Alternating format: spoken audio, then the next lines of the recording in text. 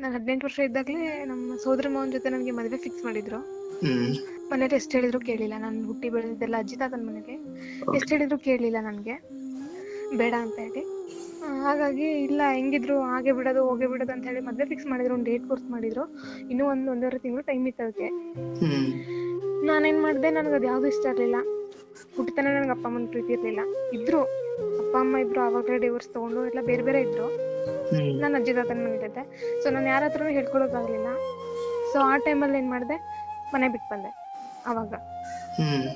Three years back ಮನೆ ಬಿಟ್ಟು ಬಂದೆ. ಮನೆ ಬಿಟ್ಟು ಬಂದು ಬೆಂಗಳೂರಲ್ಲಿ ಒಂದು ಜಯನಗರಲ್ಲಿ ಒಂದು ಯಾವುದು ಸಣ್ಣ ಚಿಕ್ಕ ಕಂಪ್ನಿಲಿ ಟೆಲಿಕಾಲರ್ ಕೆಲ್ಸಕ್ಕೆ ಸೇರ್ಕೊಂಡಿದ್ದೆ. ಸೊ ಅವಾಗ ಫ್ರೆಂಡ್ಸ್ ರಿಲೇಟಿವ್ಸ್ ಯಾರು ಇರಲಿಲ್ಲ ಕಾಂಟ್ಯಾಕ್ಟ್ ನಮ್ಮ ಮನೆ ಬಿಟ್ಟು ಹೋಗಿದ್ರು ಕೂಡ ನಮ್ಮ ಮನೇಲಿ ಯಾರು ನಾನು ಹುಡ್ಕಕ್ ಬರಲಿಲ್ಲ. ಹೋದ್ರಾ? ಹೋಗ್ಲಿ ಬಿಡು. ಬೇರೆ ಹುಡ್ಗಿನ್ ತಂದ್ರು ಮದ್ವೆ ಮಾಡಿದ್ರು. ಸರ್ ನಾನು ಇಂತಲ್ಲಿ ಇದೀನಿ ಅಂತ ಗೊತ್ತಾದ್ರು ಕೂಡ ನೀನ್ ಯಾಕೆ ಹೋದೆ ಅಂತ ಏನಾದ್ರು ಕೇಳ್ಬೋದಿತ್ತು ನಮ್ಮ ಮನೇಲಿ? ಕೇಳಿಲ್ಲ. ಅವರು ತಲೆ ಕೆಡ್ಸ್ಕೊಳಿಲ್ಲ ನಾನು ಅಲ್ಲಿಗೆ ಬಿಟ್ಬಿಟ್ಟೆ. ಅಲ್ಲಿ ಸ್ವಲ್ಪ ದಿನ ಆದ್ಮೇಲೆ ಆ, ಹಿಂಗೆ ಫ್ರೆಂಡ್ಶಿಪ್ ಅಲ್ಲಿ ಒಂದು ಹುಡುಗನ ಪರಿಚಯ ಆಯ್ತು. ಸೊ ಆ ಹುಡುಗ ಮನೆಗೆಲ್ಲ ಕರ್ಕೊಂಡು ಹೋಗಿದ್ದ. ಅವ್ರ ಮನೇಲೆಲ್ಲ ಪರಿಚಯ ಮಾಡಿಸ್ಕೊಟ್ಟಿದ್ದ. ಸೊ ಇಬ್ಬರ ಮಧ್ಯೆ ಪ್ರೀತಿ ಆಯ್ತು. ನಾನು ಏನಿದೆ ಸರ್ ಫ್ರಾಂಕ್ ಆಗಿ ಓಪನ್ ಆಗಿ ಹೇಳ್ತೀನಿ ಪ್ಲೀಸ್ ನೀವೇನಾದ್ರೂ ಅನ್ಕೊಳ್ಳಿ. ಓಪನ್ ಆಗಿ ಹೇಳ್ತೀನಿ. ಆ, ಮನೆ ಕರ್ಕೊಂಡು ಹೋದ ಅವ್ರ ಮನೇಲೆಲ್ಲ ಗೊತ್ತಿತ್ತು. ಮೇ ಬಿ ಇಬ್ರು ಇಷ್ಟಪಡ್ತಾರೇನೋ ಅಂತ ಅವ್ರ ಮನೇಲಿ ಅನ್ಕೊಂಡಿದ್ರು.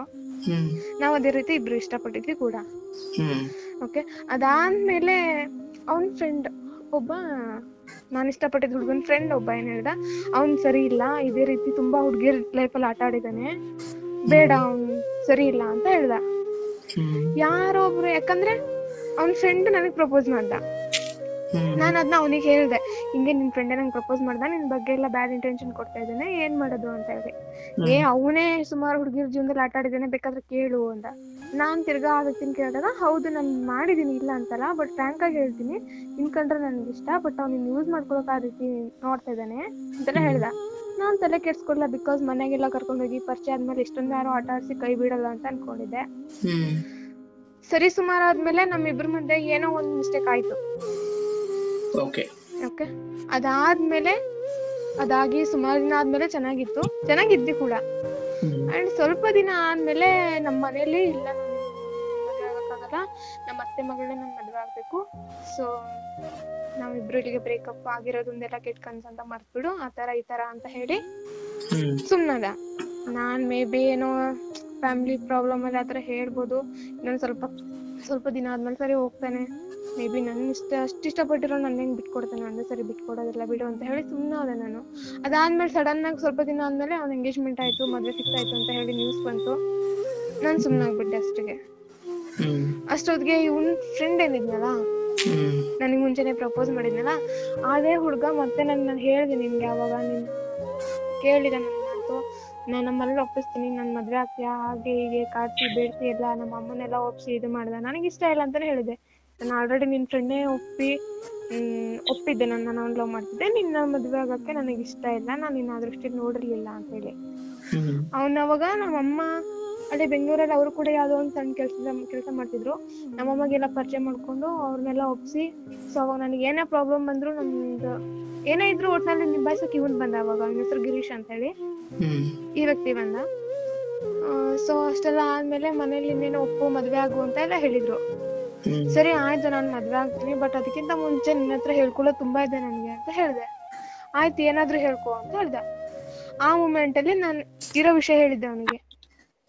ಈಗ ಹಿಂಗ ಆಗಿದೆ ನಮ್ಮ ಅದೇ ಈ ತರ ನಡೆದು ಹೋಗಿದ್ದು ಫಸ್ಟೇನೆ ಇದು ನಿನಗೂ ಗೊತ್ತಿರ್ಲಿಲ್ಲ ಯಾರಿಗೂ ಗೊತ್ತಿರ್ಲಿಲ್ಲ. ಸೊ ಈ ತರ ಆಗಿದೆ ಅಂತ ಹೇಳಿ ನೀನ್ ಆವಾಗ್ಲೇ ಹೇಳಿದ್ರೆ ನಾನು ಹೆಂಗೋ ಒಂದ್ ಮದ್ವೆನಾದ್ರೂ ತಡೀತಿದ್ದೆ ಹೆಂಗ್ ಮಾಡ್ತಿದ್ದೆ ಹೆಂಗ್ ಮಾಡ್ತಿದ್ದೆ. ಇವಾಗ ಹೇಳ್ತಾ ಇದೀಯ ನೀನು ನಾನು ಇಷ್ಟ ಇಷ್ಟಪಟ್ಟಿದ್ದೀನಿ ಇಷ್ಟ ಇಷ್ಟಪಟ್ಟಿದ್ದೀನಿ. ಬಿಡು ಆಗಿದೆಲ್ಲ ಆಯ್ತು ಒಂದ್ ಕಟ್ ಕನ್ಸು ಅಂತ ಮರ್ತ್ಬಿಡು. ಇವತ್ತಿನ ನಿನ್ ಲೈಫ್ ನಾನಿದ್ದೀನಿ ಅಂತ ಹೇಳಿ ಒಪ್ಸಿ ಒಂದು ಧೈರ್ಯ ಕೊಟ್ಟು ಮನೇಲಿ ನಮ್ಮ ಅಮ್ಮನ ಒಪ್ಸಿ ಅವ್ರ ಮನೆಯಲ್ಲೂ ಒಪ್ಸಿ ಕೂಡ ಮದ್ವೆ ಮಾಡ್ಕೊಳಕ್ ಎರಡನೇ ಬಂದಿದ್ದ ಎರಡನೇ ವ್ಯಕ್ತಿ ಹ್ಮ್ ಎರಡನೇ ವ್ಯಕ್ತಿ. ಮನೇಲಿ ಒಪ್ಸ್ಕೊಂಡು ಒಪ್ಸ್ಕೊಂಡ್ ಮದ್ವೆ ರೆಡಿ ಅದ ಇದೆಲ್ಲ ವಿಚಾರ ಗೊತ್ತಾದ್ಮೇಲೆ. ಗೊತ್ತಾದ್ಮೇಲೆ ಕೂಡ ಆಯ್ತು. ಸದ್ಯ ಅವಾಗ ನನಗನ್ನಿಸ್ತು ಸೊ ಇಲ್ಲಿಂದ ನಂದೊಂದ್ ಲೈಫ್ ಸ್ಟಾರ್ಟ್ ಆಗಿದೆ. ಸೊ ಇವತ್ತು ಏನಿದ್ರು ನನ್ನ ಲೈಫಿಗೆ ಏನೇ ಆಗ್ಲಿ ಏನೇ ಹೋಗ್ಲಿ. ಮದ್ವೆ ಅಂತ ಒಪ್ಕೊಂಡಿದೀನಿ, ಮದ್ವೆ ಅಂತ ಆಗ್ತಾ ಇದೀನಿ ಇವನೇ ನನ್ನ ಲೈಫ್ಗೆ ಸೊ ಅದು ಕಷ್ಟನೂ ಬರ್ಲಿ, ಸುಖನೂ ಬರ್ಲಿ. ಇವತ್ತಿಂದ ನಾನು ನಿನ್ ಜೊತೆ ಕರೆಕ್ಟ್ ಆಗಿ ಇರ್ಬೇಕು ಅಂತ ನಾನು ಅವತ್ತಿಂದ ಒಪ್ಕೊಂಡು, ಇವತ್ತಿನವರೆಗೂ ನಾನು ಅವನೇ ಮದ್ವೆ ಆಗಿರೋದು. ಅವನ ಜೊತೆ ಲೈಫ್ ಲೀಡ್ ಮಾಡ್ತಿರೋದು. ಇದು ಒಂದ್ ಪಾಯಿಂಟ್ ಬಟ್ ಇದ್ರ ಮಧ್ಯೆ ಏನೇನೆಲ್ಲ ಪ್ರಾಬ್ಲಮ್ಸ್ ಬಂದಿದೆ ಅಂದ್ರೆ, ಆ ವ್ಯಕ್ತಿ ಹೇಳಿದ್ನಂತ ಈ ವ್ಯಕ್ತಿ ನಮ್ಮ ಹಸ್ಬೆಂಡ್ ನನಗಿಂತ ಮುಂಚೆನೆ ಸುಮಾರು ಜನ ಹುಡುಗಿ ಜೊತೆ ಇಟ್ಕೊಂಡು, ಊರಲ್ಲೆಲ್ಲ ಜಗಳ ಆಗಿ ಗಲಾಟೆ ಆಗಿ, ಸುಮಾರು ಅವ್ರ ಮನೇಲೆಲ್ಲ ಗೊತ್ತಾಗಿ ಅವ್ರ ಮನೇಲೆಲ್ಲ ಕೇಳಿದ್ರು, ಯಾಕೆ ನೀನ್ ಇದೇ ಹುಡುಗನ ಇಷ್ಟಪಟ್ಟೆ? ಯಾಕೆ ಹಿಂಗ್ ಮಾಡ್ಕೊಂಡೆ? ಹಿಂಗ್ ಬೇರೆ ಮನ್ಸ್ ಮಾಡಿದ್ರೆ ನೀನು ಓದಿದೀಯಾ? ತಿಳಿದೋಳು ನೀನ್ ಬೇರೆ ಹುಡುಗನಾರು ಇಷ್ಟಪಟ್ಟು ಮದ್ವೆ ಆಗ್ಬೋದಿತ್ತು. ಏನಕ್ಕೆ ಇವ್ನ ಇಷ್ಟಪಟ್ಟೆ? ಇವನ ಹತ್ರ ಕಾರ್ ಇದೆ ಬೈಕ್ ಇದೆ, ಆಸ್ತಿ ಇದೆ ಅಂತ ನೋಡಿ ಹಿಂದೆ ಬಿದ್ದಿದ್ಯಾ? ಅಂತೆಲ್ಲ ಆಡ್ಕೊಂಡ್ರು ನಾನು ಅದ್ಯಾವುದೋ ನೋಡಿರ್ಲಿಲ್ಲ. ಸೊ ಆ ಮೂಮೆಂಟ್ ಅಲ್ಲಿ ನನಗೆ ಒಂದು ಸಪೋರ್ಟಿವ್ ಆಗಿ ಒಂದ್, ಒಬ್ಬ ವ್ಯಕ್ತಿ ಬೇಕಾಯ್ತು. ನಾನು ಆ ಮೂಮೆಂಟ್ ಅಲ್ಲಿ ಗಿರೀಶ್ ಅವ್ರನ್ನ ಒಪ್ಕೊಂಡೆ ಮದ್ವೆ ಆದೆ. ಮದ್ವೆ ಆದ್ಮೇಲಿಂದ ಅವ್ರ ಮೈಂಡ್ ಅಲ್ಲಿ ಏನ್ ಕುರಿತಾ ಇತ್ತು?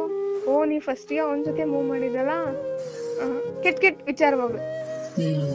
ಅವನ ಜೊತೆ ಮೂವ್ ಮಾಡಿದ್ಲ ಇನ್ನು ನಿನ್ ಮನ್ಸಲ್ಲಿ ಅವನೇ ಇದಾನ ನಾನು ಅದ್ ಯಾವತ್ ಇವ್ನ ಮದ್ವೆ ಆದ್ನೋ ಅವ್ನ್ ಯಾವತ್ ಬ್ರೇಕಪ್ ಆಯ್ತಾನೋ ನಾನು ಅವತ್ತೇ ಅವ್ನ ನಂಬರ್ಸ್ ಗಿಂಬರ್ಸ್ ಎಲ್ಲ ಡಿಲೀಟ್ ಮಾಡಿ ಹಾಕಿ ಮೊಬೈಲ್ ಸಿಮ್ ಯಾವ್ದು ಯೂಸ್ ಮಾಡದೇ ಇರ್ಲಿಲ್ಲ ನಾನು. ಇವತ್ತಿನವರ್ಗು ನನ್ ಗಂಡನ ಮೇಲೆ ಡೌಟ್ ನನ್ ನನ್ ಮೇಲೆ ಅವ್ರಿಗೆ ಡೌಟ್ ಇಲ್ಲ. ಬಟ್ ಏನಂದ್ರೆ ಹಳೆ ವಿಚಾರ. ಓ ನೀನ್ ಅವ್ನ ಜೊತೆ ಆತರ ಮೂವ್ ಮಾಡಿದೆ ಅಲ್ಲ? ಸೊ ಇವಾಗ ಜಗಳ ಆದ ತಕ್ಷಣ ಓ ನಿನಗೇನೋ ಹಳೇದೇ ನೆನಪಾಗ್ಬೋದು ನಿನಗ ಅದೇ ಬೇಕಾಗಿರ್ಬೋದು. ನಾನು ಎಷ್ಟು ಪ್ರೀತಿ ಕೊಟ್ರು ನಿಂಗೆ ಇಡಿಸ್ತಾ ಇರುತ್ತಾ ಒಂದು. ಇದಾದ್ಮೇಲಿಂದ ಬರ್ತಾ ಬರ್ತಾ ಬರ್ತಾ ಬರ್ತಾ ಹೇಗಾಗಿದೆ ಅಂದ್ರೆ ಜಸ್ಟ್ ನಾನು ನಿನ್ ಕಟ್ಕೊಂಡಿರೋದೇನಕ್ಕೆ ಒಂದು ಲೈಫ್ ಕೊಟ್ಟಿದ್ದೀನಿ. ನಾನು ಹೆಂಗ್ ಹೇಳ್ತೀನೋ ಹಂಗ್ ಕೇಳ್ಕೊಂಡ್ ಬಿದ್ದಿರ್ಬೇಕು ನೀನು. ಇಲ್ಲ ನನ್ ಜೊತೆನೂ ಸಾಯ್ಬೇಕು ನೀನು. ಯಾಕೋ ನಾನು ಏನಾರು ಬೇರೆ ಹುಡುಗನ ಏನಾರ ಕಣ್ಣೆತ್ ನೋಡಿದೀನಾ? ಬೇರೆ ಏನಾರ ಅಫೇರ್ ಇದ್ದಿದ್ ಗೊತ್ತಾ? ಅಥವಾ ಕದ್ದು ಮುಚ್ಚಿ ಯಾರ ಹತ್ರ ಮಾತಾಡಿದ್ದನ್ನಾರು ನೋಡಿದೀಯಾ? ಇಲ್ಲ ಅದೇನು ಇಲ್ದವ್ರು ನನಗೆ ಗೊತ್ತಿಲ್ಲ. ನಾನು ಹೆಂಗ್ ಹೇಳ್ತೀನಿ ಹಂಗ್ ಬಿದ್ದಿರ್ಬೇಕು ನೀನು. ಹಾ ಇರ್ತಿದ್ರು ಇರೋ ಹೋಗ್ತಿದ್ರು ಹೋಗು. ಅಂತೇಳಿ ಅವಾಗ್ಲೇ ಸುಮಾರು ಜಗಳ ಆಯ್ತು ಮದ್ವೆಗಿಂತ ಮುಂಚೆ. ಮದ್ವೆಗ್ ಒಂದ್ ವರ್ಷ ಆಯ್ತು. ಆಮೇಲೆ ಮಕ್ಳಾಗ್ಲಿಲ್ಲ ಒಂದ್ ವರ್ಷದಲ್ಲಿ. ನಮ್ಮೂರ್ ಕಡೆ ಎಲ್ಲಾ ಎರಡ್ ತಿಂಗಳು ಮೂರ್ ತಿಂಗ್ಳಿಗೆ ಪ್ರೆಗ್ನೆಂಟ್ ಆಗ್ತಾರೆ. ನೀನ್ ಒಂದ್ ವರ್ಷ ಆದ್ರೂ ಮಕ್ಳಾಗಿಲ್ಲ ಅಂದ್ರೆ ಮೋಸ್ಟ್ಲಿ ನಿಮ್ ಮಕ್ಳಾಗೋ ಬಗ್ಗೆ ಇಲ್ಲ ನಿನ್ ಬಂಜನೆ ಇರ್ಬೋದು ಅಂತ ಹೇಳಿ ಅವಾಗ ಒಂದ್ ವರ್ಷ ಅದೇ ಗೋಳಲ್ಲಿ ಕಣ್ಣೀರ್ ಹಾಕೊಂಬಂದೆ ಯಾಕೆ ಮಕ್ಳಾಗ್ತಿಲ್ಲ ಯಾಕೆ ಮಕ್ಳಾಗ್ತಿಲ್ಲ ಅಂತ ಹೇಳಿ. ಮಗು ಆಗ್ಲಿ, ಆಮೇಲೆ ನಾನ್ ನಿನ್ ಚೆನ್ನಾಗ್ ನೋಡ್ಕೋತೀನಿ ಅಂದ. ಮಗು, ಮಗುನೂ ಆಯ್ತು. ಮಗು ಆದ್ಮೇಲೆ ಜವಾಬ್ದಾರಿ ಅಂತೂ ಇಲ್ಲ. ಫಸ್ಟ್ ಆಫ್ ಆಲ್ ಮದ್ವೆ ಆಗಿ ಒಂದು ಕೆಲವೇ ತಿಂಗಳಲ್ಲಿ ನನ್ ಕತ್ತಲ್ಲಿರೋ ತಾಳೆ ಬಿಚ್ಕೊಂಡು ಹೋದ. ಕಷ್ಟ ಇದೆ. ಒಂದ್ ತಿಂಗಳು ತಿನ್ನ ನಿಮ್ಗೆ ಮತ್ತೆ ಮಾಡಿಸ್ಕೊಡ್ತೀನಿ, ಕೊಡು ಅಂತ ಹೇಳಿ. ತಗೊಂಡ್ ಹೋದ. ಯಾಕೆ ನಾನ್ ಕಟ್ಟಿದ್ದಾಳೆ, ನಾನು ಕೊಡೋದಿಲ್ಲ ಅಂದ್ರೆ ನಾನ್ ದುಡ್ದಿರೋದು, ನಾನ್ ಕಟ್ಟಿರೋದು, ನನ್ ಕೊಡ್ದಲ್ಲ ಇನ್ಯಾರು ಕೊಡ್ತೀನಿ ನೀನು? ನಾನ್, ಒಟ್ನಲ್ಲಿ ನಾನ್ ದುಡ್ದಿರೋದು ನಾನ್ ಮಾಡ್ತಾ ಇರೋದು. ನೀನೇನ್ ಸುಮ್ನೆ ತಿನ್ಕೊಂಡ್ ಕುತ್ಕೊಂತಿರತ್ತೇನೆ ಹೇಳ್ದಂಗ್ ಕೇಳ್ಕೊಂಡ್ ಬಿದ್ದಿರು. ಇಷ್ಟೆಲ್ಲ ಆಯ್ತು. ಮತ್ತೆ ಮಾತೆತ್ತಿದ್ರೆ ಕೊಲ್ಲ ನಾನೇನ್ ನಿನ್ನೆ ನೋಡ್ಕೊಂಡ್ ಕುಂತಿಲ್ಲ. ನನ್ ಮನ್ಸ್ ಮಾಡಿದ್ರು ಕೂಡ ನಾನು ಚಿಟ್ಕೆ ಹೊಡೆದ್ರೆ ನನ್ಗೆ ಹುಡ್ಗಿರೆಲ್ಲ ಕ್ಯೂ ನಿಲ್ತಾರೆ. ನಿನ್ ಲೈಫ್ ಹಾಳಾಗ್ಬಾರ್ದಂತ ಅಷ್ಟೇ ನಾನು ಇದು ಮಾಡಿದ್ದು. ನಾನೇನಪ್ಪ, ನನ್ ಲೈಫ್ ಹಾಳಾಗುತ್ತೈತೆ. ನನ್ ಮದ್ವೆ ಆಗೋಂತ ನಾನೇನಾದ್ರೂ ನಿನ್ ಕಾಲಿಗೆ ಬಿದ್ದಿದ್ನಾ? ಇಲ್ಲ ತಾನೇ. ನೀನಾಗೆ ನಾನು ಹುಡ್ಕೊಂಡ್ ಬಂದೆ, ನೀನಾಗೆ ಇಂಪ್ರೆಸ್ ಮಾಡ್ದೆ, ಮದ್ವೆ ಆಯ್ತು. ಮದ್ವೆಗಿಂತ ಮುಂಚೆನೆ ನಿಂಗೆಲ್ಲ ಗೊತ್ತಿತ್ತು. ಮದ್ವೆ ಆದ್ಮೇಲೆ ಇದೆಲ್ಲ ಯಾಕೆ? ಓಕೆ ಬಟ್ ನಾನು ನಿಮಗೆ ಕಡೆಯದಾಗಿ ಕೇಳ್ತೀನಿ. ನೀವೆಲ್ಲಿ ತಪ್ಪು ಮಾಡಿದ್ರಿ ಅಂತ ನಿಮ್ಗೆ ಅನಿಸ್ತಾ ಇದೆ? ನಾನೊಬ್ಬ ವ್ಯಕ್ತಿ ನಂಬಿದ್ದೆ ತಪ್ಪಾಯ್ತು. ಮದ್ವೆಗಿಂತ ಮುಂಚೆ ಇದು ಆಗ್ಲಿ ಮದ್ವೆ ಆದ್ಮೇಲೆ ನಂಬಿಕೆ ನೀವು ತುಂಬಾ ಜನ ಮೇಲೆ ಇಟ್ಟಿದ್ದೀರಾ? ನಿಮ್ ಬದುಕಲ್ಲಿ ಚಿಕ್ಕವನಿಂದ ನೋಡ್ತಾ ಬಂದ್ರೆ ತುಂಬಾ ಜನ ಮೇಲೆ ನಂಬಿಕೆ ಇಟ್ಟಿದ್ದೀರಾ? ಬಟ್ ಎಸ್ಪೆಷಲಿ ಈ ವಿಚಾರಕ್ಕೆ ಬರೋದಾದ್ರೆ ನಿಮ್ಮ ಬದುಕಲ್ಲಿ ಬಂದಿರೋ ಮೂರನೇ ಹುಡುಗ. ಎರಡನೇ ಹುಡುಗ ಸರ್. ಈ ಮುಂಚೆ ನಿಮ್ಮ ನಿಮ್ಮ ಮಾವ. ಮಾವ. ಮೂರಾಯ್ತಲ್ಲ? ಹ್ಮ್. ಒಂದು ಹೆಣ್ಣಿನ ಬದುಕಲ್ಲಿ ಈ ರೀತಿ ವಿಚಾರಗಳು ನಡೆಯೋಕೆ ಸಾಧ್ಯ. ಬಟ್ ನೀವು ಯಾಕೆ ಇನಿಷಿಯಲ್ ಅಲ್ಲಿ ಅಥವಾ ಶುರುವಿನಲ್ಲಿ ಒಂದು ಸಂಬಂಧ ಕಟ್ಟಾಯ್ತು? ಅದಕ್ಕೆ ನೀವು ಕಾರಣರಲ್ಲ. ಅದು ಯಾರು ದೊಡ್ಡವರು ಸೇರ್ ಮಾಡಿದ್ದು. ಎರಡನೇದಾಯ್ತು, ಅಲ್ಲಿ ನಿಮಗೆ ಒಂದ್ ಸ್ವಲ್ಪ ಬಹುಶಃ ಫಸ್ಟ್ನೇದು ತುಂಬಾ ಪಾಠ ಕಲಿಸಿದ್ರೆ ನೀವು ಅಷ್ಟು ಬೇಗ ಎಡುತ್ತಿರ್ಲಿಲ್ಲ ನನಗನ್ಸುತ್ತೆ. ಅಂಡ್ ಓಕೆ ಎರಡನೇದು ಆಯ್ತು ಹೇಗೆ ಮೂರನೇದು? ಎಷ್ಟು ಸಲ ಎಡುವಿದ್ದೀರಾ? ನಿಮಗೆ ಅರ್ಥ ಆಗ್ತಿದ್ಯಾ? ನೀವು ಮಾಡಿರೋ ತಪ್ಪು. ಓಕೆ ಇವತ್ತಿನ ಪರಿಸ್ಥಿತಿಯ ಬಗ್ಗೆ ನನಗೆ ಮರುಕ ಇದೆ ಅಂಡ್ ಅಫ್ ಕೋರ್ಸ್ ನೀವು ಅದರಿಂದ ಆಚೆ ಬರುತ್ತೀರಾ? ಪರಿಸ್ಥಿತಿ ಸರಿ ಹೋಗುತ್ತೆ. ಬಟ್ ಇವತ್ತು ನಿಮ್ ಸಮಾಧಾನಕ್ಕೆ ನಿಮ್ಮ ಬದುಕನ್ನು ಸ್ವಲ್ಪ ಹಿಂದಿರುಗಿ ನೋಡಿದಾಗ ನೀವೇ ತಪ್ಪು ಮಾಡಿದ್ರಿ ತುಂಬಾ ಸರಿ ಅಂತ ನಿಮ್ಗೆ ಅನಿಸ್ತಾ ಇಲ್ವಾ? ಕೆಲವೊಂದು ತಪ್ಪು ನಿರ್ಧಾರ ನೀವು ತಗೊಂಡಿದ್ದೀರಾ ಅಂತ ನಿಮ್ಗೆ ಅನಿಸ್ತಾ ಇಲ್ವಾ?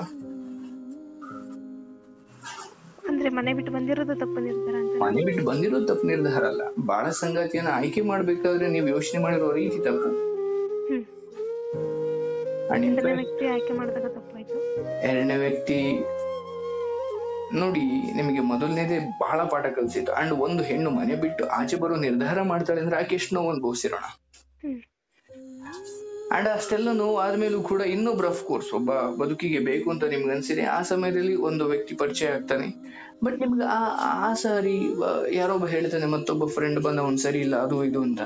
ಅಂಡ್ ಅವನ್ ಪ್ರಪೋಸ್ ಮಾಡ್ತಾನೆ. ಈ ಇವೆಲ್ಲವೂ ನಡಿಬೇಕಾದ್ರೆ ನಿನಗೆ ಈ ಈ ವಿಚಾರಗಳು ಬೇಡ. ಇಂಥ ಏನು ಅವನ್ ಫ್ರೆಂಡ್ ಬಗ್ಗೆನೇ ಇವನ್ ಕೆಟ್ಟ ಹೇಳ್ತಾನೆ ಅಥವಾ ಇವನೇ ಪ್ರಪೋ ಇಂಥ ಕೆಟ್ಟ ಸಮಾಜದ ಬಗ್ಗೆ ನಾವು ಸ್ವಲ್ಪ ಆಚೆ ಬರ್ಬೇಕು ಅಂತ ನಿಮ್ಗೆ ಅನಿಸ್ಲಿಲ್ವಾ ಅವತ್ತು ಯಾವತ್ತು? ಅವನ್ ಬಗ್ಗೆ ಇವನ್ ಕೆಟ್ಟದ್ದು ಹೇಳ್ತಾ ಇದ್ದಾನೆ. ನನ್ ಮಾತ್ರಕ್ಕೆ ಇವನೇನ್ ಅಣ್ಣನ್ ತರ ನೋಡ್ತಾ ಇದ್ದಾನೆ. ಇವನು ಕೂಡ ಅದೇ ಹಾದಿಗೆ ಬಂದ. ಹೌದು. ಅಂಡ್ ಆ- ಆ ಪರಿಸ್ಥಿತಿನೇ ಅಥವಾ ಆ ಇಡೀ ಸುತ್ತಮುತ್ತಲ ಆ ಸರ್ಕಲ್ಲಿ ಅಂತವರೇ ಇದ್ದಾರೆ ಅಂದಾಗ ನಿನ್ಗೆ ಅದ್ರಿಂದ ಆಚೆ ಬರ್ಬೇಕು ಅಂತ ಅನಿಸ್ಲಿಲ್ವಾ? ಅನ್ಸೋಗ್ತದೆ ಯಾವ್ದು ಅವಾಗ ಬರ್ಲಿಲ್ಲ ನನ್ನ ಮೈಂಡಿಗೆ ಅಗೇನ್ ಅದೇ ನಾವು ಮಾಡೋ ತಪ್ಪು. ಅದೇ ತಪ್ಪು. ಅಂಡ್ ಇವತ್ತು ನಿನ್ಗೆ ಏನೊಂದು ಸ್ವಲ್ಪ ಬುದ್ಧಿ ಬಂದಿದೆ. ಇನ್ನೊಂದ್ ಚೂರು ಎರಡು ವರ್ಷ ಹೋದ್ಮೇಲೆ ಇವತ್ತು ಮಾಡಿರೋ ತಪ್ಪು ಅವತ್ ನೀನು ಹೇಳ್ತೀಯ ಸರ್ ನನ್ಗೆ ಅವತ್ತು ಅಷ್ಟು ಗೊತ್ತಿರ್ಲಿಲ್ಲ ಅಂತ. ನಾನು ಹೇಳ್ತಾ ಇರೋದಷ್ಟು ನಿಮ್ಗೆ ಗೊತ್ತಾಗ್ತಿದೆ ಅಲ್ವಾ? ಹಾಗಂತ ನಾನು ನಿಮ್ಮನ್ನು ದೂಷಿಸ್ತಾ ಇಲ್ಲ ಬದುಕು ಮುಗೀತು ಬಹಳ ದೊಡ್ಡ ತಪ್ಪು ಮಾಡ್ರ ಅಂತ ಹೇಳ್ತಾ ಇಲ್ಲ. ಇದಕ್ಕೂ ಮೀರಿ ತಪ್ಪುಗಳನ್ನ ನಾನು ಕೇಳಿದೀನಿ ಇಲ್ಲೇ ಕಥೆಯಲ್ಲಿ ಕೇಳಿದೀನಿ ಸೊ ಹಾಗಾಗಿ ಸೃಷ್ಟಿಯವರೇ ನನಗನ್ಸೋದು. ಈಗ ಒಂದು ನೀವೇ ನಿರ್ಧಾರ ಮಾಡಿದ್ರ ಕಷ್ಟನ ಸುಖದ ನಾನು ಬದುಕ್ತೀನಿ ಅಂತ ನೀವು ಶುರುನಲ್ಲಿ ಹೇಳಿದ್ರಿ. ಹೌದಲ್ವಾ? ಎನಿವೆ ಈಗ ನಿಮ್ಗೆ ಇರುವಂತಹ ದಾರಿ ಒಂದು ಕಷ್ಟನೋ ಸುಖನೋ ಇಲ್ಲ ಸರ್ ನಾವು ಸರಿ ಹೋಗ್ತೀವಿ ಅಂತ ಆತ ಅಲ್ಲಿ ಹೇಗೆ ಸ್ಟೇಷನ್ ಅಲ್ಲಿ ಹೇಳಿದ್ನೋ ಬಹುಶಃ ಆತ ಆ ಪರಿಸ್ಥಿತಿಯಿಂದ ತಪ್ಪಿಸ್ಕೊಳ್ಳೋಕೆ ಹೇಳಿರ್ಬೇಕು. ಖಂಡಿತ. ಓಕೆ ಬಟ್ ಸ್ಟಿಲ್ ನೀನು ಇದನ್ನ ಸೀರಿಯಸ್ ತಗೊಂಡು ಕೊಂಚ ಮಾತುಕತೆ ನಡೆಸು ಆ್ಯಂಡ್ ಮಕ್ಕಳಿದ್ದಾರೆ ಅಂತ ಹೇಳ್ತೀಯ?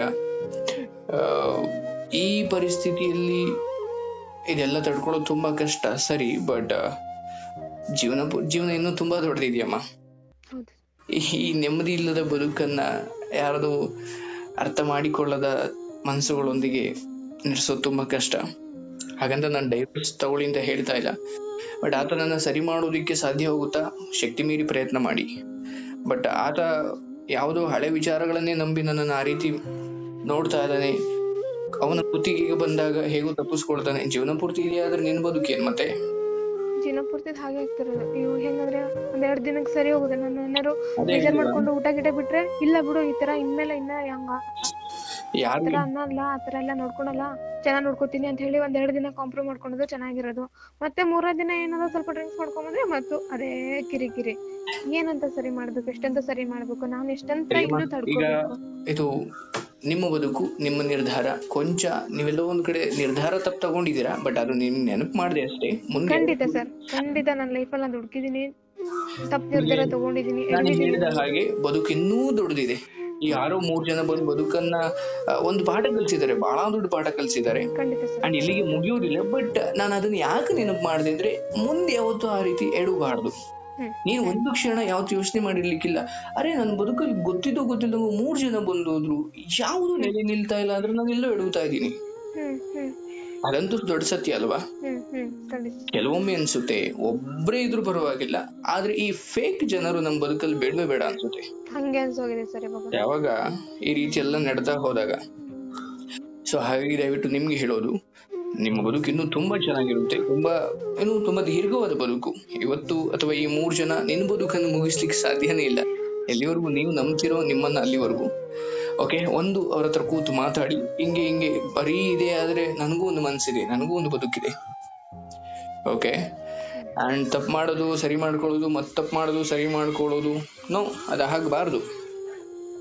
ರೈಟ್ ಇಷ್ಟೆಲ್ಲ ಆದ್ಮೇಲೆ ಅವ್ರಿಗೆ ಜವಾಬ್ದಾರಿ ಕೂಡ ಇಲ್ದಾಗಿದೆ ಸರ್ ಮನೆ ಜವಾಬ್ದಾರಿ ಈಗ ಒಂದು ಏನಾದ್ರು ಗೊತ್ತಾ? ಯಾವುದೇ ಸಂಬಂಧದಲ್ಲಾದ್ರೂ ಅಷ್ಟೇ ಯಾರಿಗೆ ಆದ್ರೂ ಹೇಳೋದಷ್ಟೇ ಇಲ್ಲಿವರೆಗೂ ಹಿರಿಯರ ಮನೆಯವರ ಶಿಕ್ಷೆ ಮೋಕ್ಷ ಅಂತಾರೆ ನಮ್ಮ ಹಳ್ಳಿ ಕಡೆ. ಆದ್ರೂ ಭಯ ಭಕ್ತಿ ಇಲ್ಲದೆ ಹೋದಾಗ. ಹಾ ಖಂಡಿತ ಸರ್ ಅದ್ಯಾವ್ದು ಇಲ್ಲ ಸರ್. ಅಪ್ಪ ಮನೆ ಹೇಳೋದ್ ಬಿಟ್ಟಿದ್ದಾರೆ ಅವನಿಗೆ. ಒಂದ್ ನಾನು ಹೇಳೋದು ನಿಮ್ಮ ಹತ್ರ ಕೋಟಿ ಹಣ ಇದ್ರೂ ಪರವಾಗಿಲ್ಲ. ಯಾವಾಗ ನೀವು ಗುರು ಹಿರಿಯರ ಮಾತಿಗೆ ಬೆಲೆ ಕೊಡ್ತಾ ಹೋಗ್ತೀರಾ? ಅಥವಾ ನೀವು ತಪ್ಪು ಮಾಡಿದಾಗ ಆ ತಪ್ಪು ಅಂತ ಹೇಳ್ದವ್ರನ್ನ ನೀವು ಗೌರವಿಸ್ತಿರಲ್ಲ? ಹ್ಮ್. ಖಂಡಿತ ಸರ್ ತಪ್ಪು ಮಾಡಿದೀನಿ ಒಪ್ಕೋಬೇಕು. ಅದು ಐ ಮೀನ್ ನಾನು ನಿಮ್ಗೆ ಹೇಳ್ತಾ ಇಲ್ಲ ಅವ್ರಿಗೆ ಹೇಳ್ತಾ ಇರೋದು. ಗುರು ಹಿರಿಯರು ಬೆಲೆ ಕೊಡ್ದೇನೆ ಅವ್ರು. ಚಿಕ್ಕಮ್ಮ ದೊಡ್ಡಮ್ಮ ಅಕ್ಕ ಎಲ್ಲ ಬಂದು ಹೇಳಿದ್ರು ಆತ ಅದನ್ನೇ ಮಾಡಿದ್ರೆ ಓಕೆ ಅದದು ಐ ಥಿಂಕ್ ಕಾಲ ಮೀರಿ ಹೋಗಿರೋದು. ಆತನ ಪಾಲಿಗೆ ಬೇರೆ ಏನೋ ಇದೆ ಆತ ಅದನ್ನ ಅನುಭವಿಸ್ಲೇಬೇಕು. ಬಟ್ ಒಂದು ಹೆಣ್ಣಾಗಿ ನೀನು ಕೆಲವೊಂದು ತಪ್ಪು ನಿರ್ಧಾರ ತಗೊಂಡಿದ್ಯಾ? ಇಲ್ಲ ಬಟ್ ಅದನ್ನೇ ಯೋಚನೆ ಮಾಡಿ ನಾನು ಕೊರಗುಂದ ಹೇಳ್ತಾ ಇಲ್ಲ. ಬಟ್ ಇರ್ಲಿ ನೀನ್ ತಗೊಳ್ಳೋ ನಿರ್ಧಾರಗಳ ಮೇಲೆ ನಿಂತಿದೆ ನಿನ್ನ ಭವಿಷ್ಯ.